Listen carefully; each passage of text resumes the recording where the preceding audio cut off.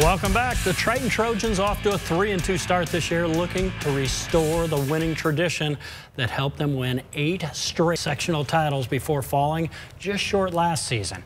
Tonight, they look for their fourth win, taking on Pioneer. They just got beat by 17 against Lewis Cass. How about Grant Johnson? He's going to come up and say, give me the ball, give me the bucket.